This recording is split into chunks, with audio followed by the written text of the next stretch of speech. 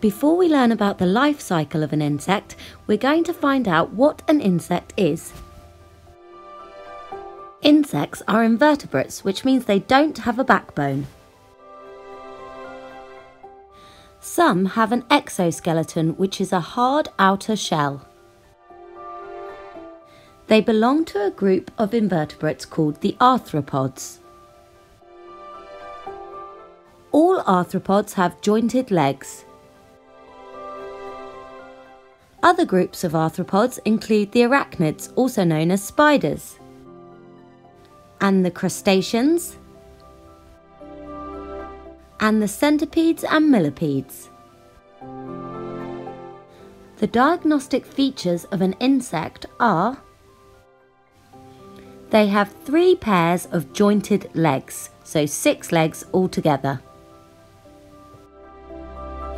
They have three body segments, so you can see the body is split into three different sections. They usually have two pairs of wings, although some insects don't have wings. They have antennae, and they have compound eyes. Now we are ready to look at the life cycle of an insect. We will use a butterfly as an example.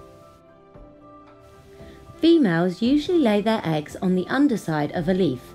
They will choose a species of plant that the caterpillar will like to eat once it hatches.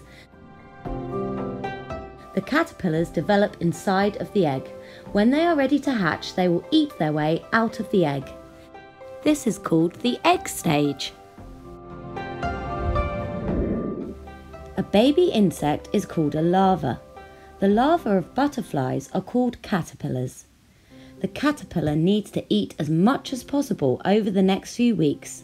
This is so it can put on as much body mass as possible, ready for metamorphosis.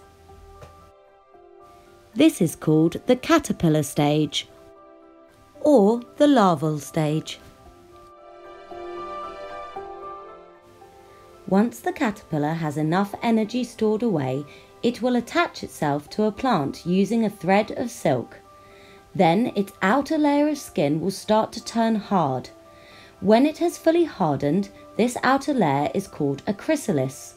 The inside is called the pupa. This is called the pupa stage. During this stage, the pupa undergoes metamorphosis. Essentially, it breaks down into a mush of cells. The cells migrate to new areas and specialise into new types of cell.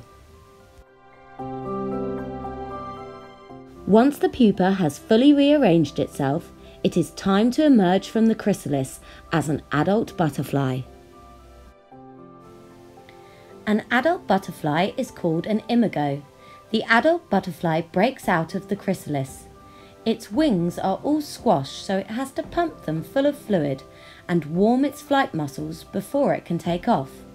Once it is ready, it will fly off to feed on the nectar of flowers. It will also need to search for a mate. The male butterfly fertilizes the female eggs and then the cycle can begin all over again. This is called the adult stage.